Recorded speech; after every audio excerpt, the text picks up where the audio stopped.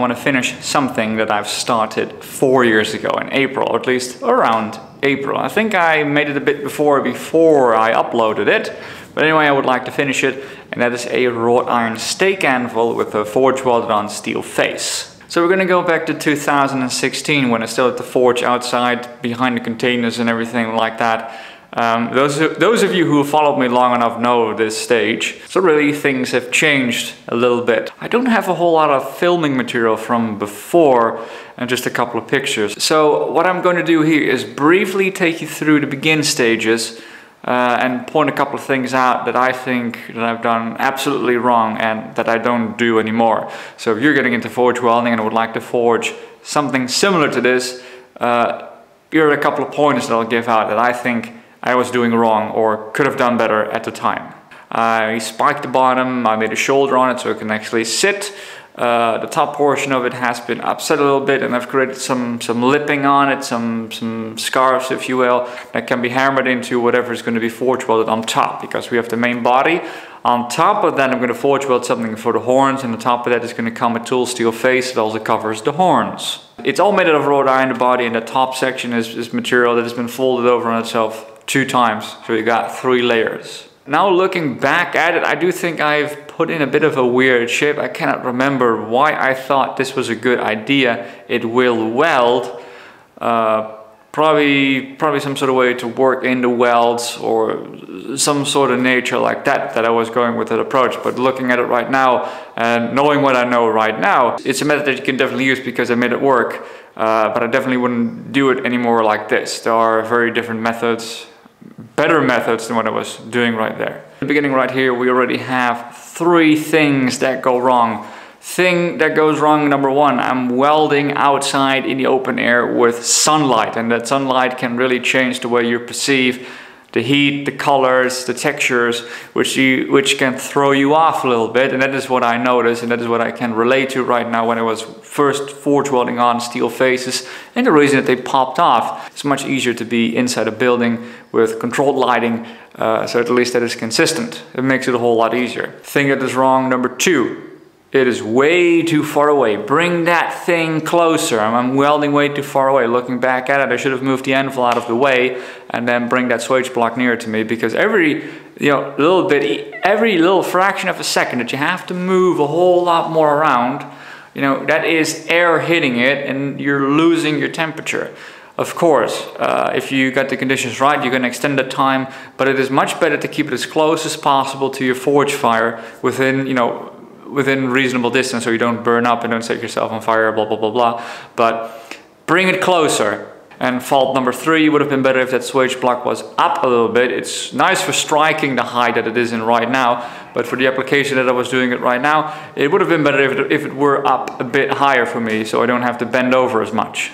Here you can also see, okay, it's a bit, oh, it's orange again. Never mind, so I look like the, the American president. Here you can really see that my style of recording has changed because you know when you look at this, this is all very far away, and this is what really annoys me. Is okay, I, I can see that I'm busy with forging, but I cannot see what I am doing right over there. You cannot actually properly see what is going on. You, you cannot see if it is going right or if it is going wrong. I don't think much was going wrong at that. I'm looking at my phone. I don't think much was going wrong at the time right over here, but uh, you, you can just not see what is going on. So Okay, then th that was the first video. Uh, I only did the beginning of that, so we're gonna go to that continued. It's actually part two. Okay, we got the beginning. I'm gonna weld something, I assume. Oh, right, that's the sides. I'm welding on the sides. I, I, I wasn't sure anymore whether I welded on the sides, those, those, those triangle pieces for extra material, or whether I left enough material in there, but I actually welded on, I can see here including the hat. And some people have asked me about if I still wear the hat and what I do with it. I actually don't wear the hat anymore because of really two reasons.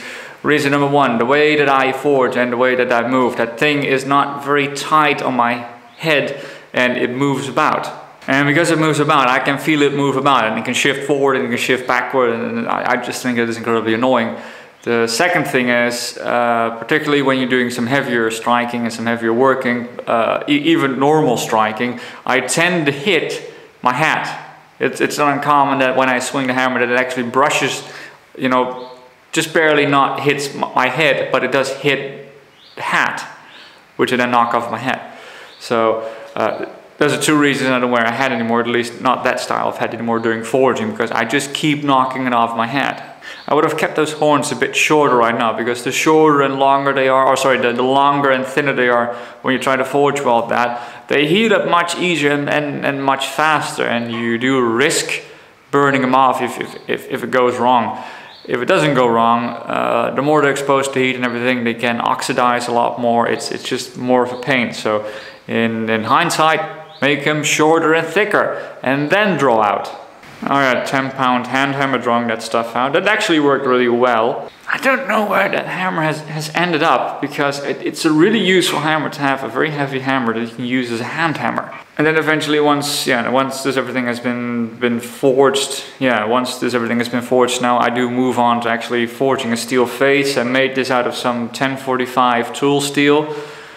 Uh, because that's what I had at hand. You flatten it out and then you have a steel face and then you form the steel face that you know is, is proportioned, contoured to the top of that anvil stake anvil actually. I've looked around in the old footage that I still have and I don't have the footage of welding on this steel face because I do clearly remember that I was having troubles with this. It was a pain to get on, to get the middle of the face to get on. It was even more of a nightmare when I was trying to weld on you know, the steel face to the horns. That just did not want to get welded on. No matter what I did, it just didn't work. And I think I know why this didn't go exactly right. For one reason is the different fuel. Uh, at the time, if it's after that, and I think it's after that, well, realistically it's going to have to be after that because in 2017 I was in France most of the time. Um, so what I think happened, Coke, at least Coke that I can get here in this country, the Low Countries, the Netherlands, Netherlands, Pipa, uh, when I get coke here, the, the, it produces quite a significant amount of clinker, whereas the bituminous coal we can buy here, the blacksmith grade coal, is actually very good. I was using coke at the time because you know I couldn't produce any smoke for the area right there, so of course coke or um, pet coke it is, but I chose for coke, uh, burned a little bit nicer. But Coke requires quite some air to be forced through, particularly when it starts to form clinker. Particularly with a bottom blast fire, you know, with a fire pot and everything, when it's not very deep, if you get quite some clinker in there, you can actually push up the oxidizing layer where the oxygen comes in quite up quite far, uh, which is not good. I have to put in a heavier blast, so that means I get more oxygen even in there, so you get more of an oxidizing environment. Very, very rough on the iron and on the steel. What I don't really do anymore is when I apply fluxion, or usually it's applied at a red heat, put it in your fire, and then you take it and you, and you do your welding, when it's, at, when it's at a welding heat of course. Um, with these larger pieces that can actually be too long and I find that if you keep your uh, whatever you're trying to weld, if it's big stuff, if you keep it in the fire for too long, you know, if, if it requires a soaking time, even if it's already at the right heat, it can require a soaking time. It can be too much. And the oxygen, whatever is in there, uh, it reacts with the borax. It reacts. It, it, it, does whatever it does, and it deteriorates, and it no longer does what it is supposed to do. That is one of the things that I'm fully aware of right now. That if I do flux, I want to do it particularly with the large pieces. Is do it at a later stage when the stuff is much hotter, clean it then, and then apply the borax because then it actually does its thing. Whereas if I do it in the beginning, you know, particularly with with large stock, say hammer size stuff like that it just takes too long. It just takes too long. So you want to. So I want to apply it later, and I have much better results with that. It looks much cleaner. It, it's got more of a cleaning action than if I um, if I don't. Uh, and, and, remember now the frustration is is you tend to hit harder, whereas actually you should you should go into the opposite direction. You should always hit. At least what I try to do is always hit softly when you're trying to work that thing together. You don't want to smack the crap out of it and hope that it takes snow. Don't, don't hit that hard. Keep tapping it because then you'll feel if you have a surface that starts to grip and if it does grip, you can take another heat and then you can continue your welding rather than just beating it to death and then everything has deformed and is no longer you know, in the right shape. Uh, it's going to be really interesting to see if I can get it to weld. Um, I don't really expect too much from this, just because you know they're old welds. It's, uh, it's it's been rusty and everything. I don't know if I got impurities, inclusions, and all that stuff inside there. Even if I can pull it off, and it seems like the horns are welded on, we will not really know how good it is until I actually put it through a quench. I'm going to try and weld it. We're going to clean up the old flux and everything and see what happens. Get it stuck together, forge it down um, then clean it up, take the angle grinder, remove some of the stuff, and then do some additional cleaning up, maybe with a file, see what we end up with, and then the important part comes, and that is going to be the quench. The quench is what is going to tell us if this is going to be a good thing, or after all these years, it's going to be crap still.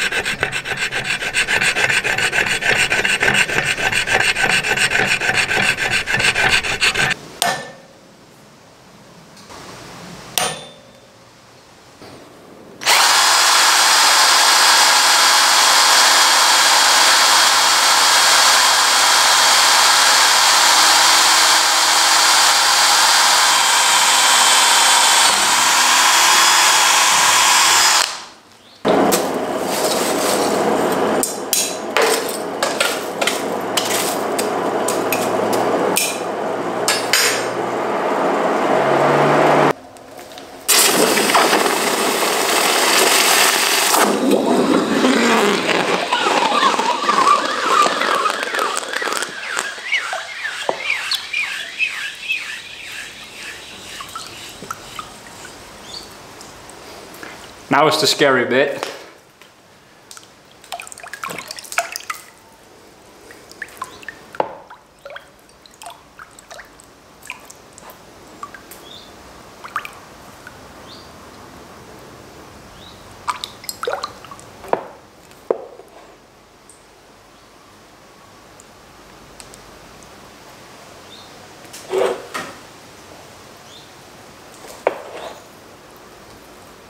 Well, it stayed on there. Now, of course, the important question, has it become hard?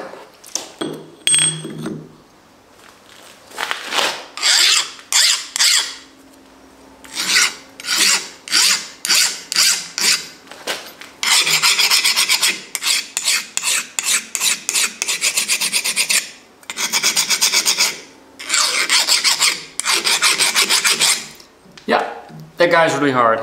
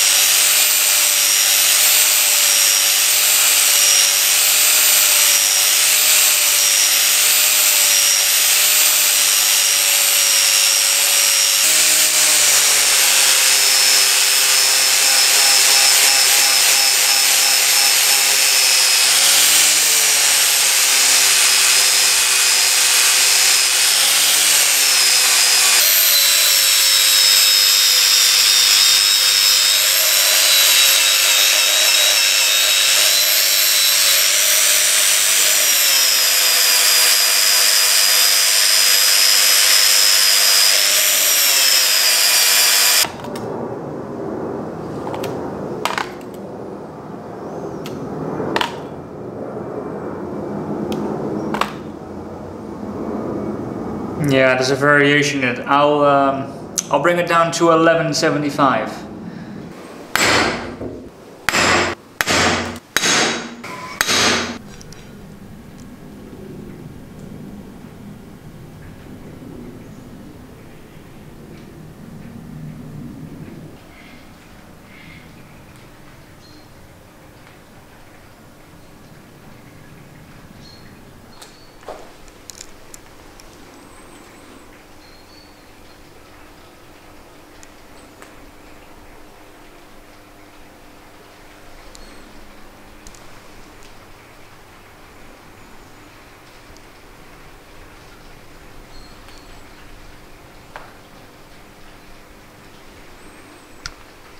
So that's the stake anvil after a bit more than four years. It is far from perfect, thus perfect from far. It leaves a couple of things to be desired. It's not perfectly stamped, it is not perfectly balanced and perfectly symmetrical. Uh, not as much as I would try to make it if I were to have to remake the entire thing. I would also do it in a very different manner because right now with with what I understand now and what I what I have experience with right now is I would do a jump weld right on there. I would weld on this horn make it thicker though, don't have it end here. Uh, keep it all shorter and fatter, that will work much better than if you try to do it thin because you risk burning it. Perfect lining and all that, you know, towards perfection. Uh, it, has got to be reasonable, but in the end though I'm quite happy with it because I didn't think it would look like this. I would think it would be a lot more lumpy and so you can see that over time uh, the skills change, the perspective changes, and the way you approach things really drastically changes over time. It seems to have come out right because if there's anything wrong with the welds, and there are a couple of welds in there, so we got one, that's the main shank and everything, that's one piece. We got the top sections one piece, that's two. We got the two sides, which I welded on, makes it four, and then we got the five, or the, sorry, the fifth piece on top of that, and that's a steel face. If any of those welds really weren't on there correctly or not properly welded to some degree, you would hear that. It would really change the sound.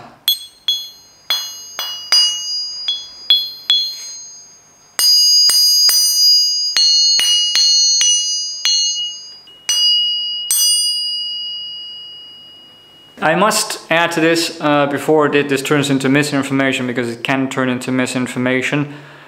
The, the way a tool rings you know, doesn't necessarily tell you how good it is or what the quality is, or at least what it tells you more about is the internal structure. Of course, if you have a cast iron anvil like a Fisher Norris anvil with a steel face, that thing is not going to ring. At least I'm not aware of any of them ringing because they have a cast iron body with a steel face. This, however, wrought iron, it can vibrate, so can steel. And if the welds are good generally, if it you know, is well attached and the vibrations can actually pass through the welds, there's no movement in that where the energy is lost, then you will have a clear ring, or it should have a clear clear ring to it that keeps resonating for quite some time. If it doesn't, then usually there is something off. There is something where the energy or the vibration can, can go to. Now, just because, for example, you have a quiet anvil, doesn't necessarily mean that the thing is broken. It could very well be that it sits in such a way that it doesn't ring anymore or that it is tight. Just for example, when I take my small anvils, uh, when I bolt them down to the standard, that's only two M12 bolts, so two half an inch bolts, grade 8 or grade 8.8. When you tighten those down, it's only two bolts, the thing stops ringing because it, it's pulling it tight to the bottom. So if the bottom makes a good connection with whatever it stands on, you can already you can already lose a lot of that sound, even though it could be very good. And you know it it rings here, but as soon as I hold it here, it stops. You can use it as an indicator, but not as much as, as a definitive answer to everything. There, there's a lot more to it. So I'm really happy with this result and it is finally finished. Uh, of course I need to do a video later uh, where we're actually going to try it out, actually do some hammering on it and uh, work on the tip and see if the tip and everything would break off because that's the next question. Will the iron and will the steel that is on there right now, will it be able to take a beating or will it simply snap off?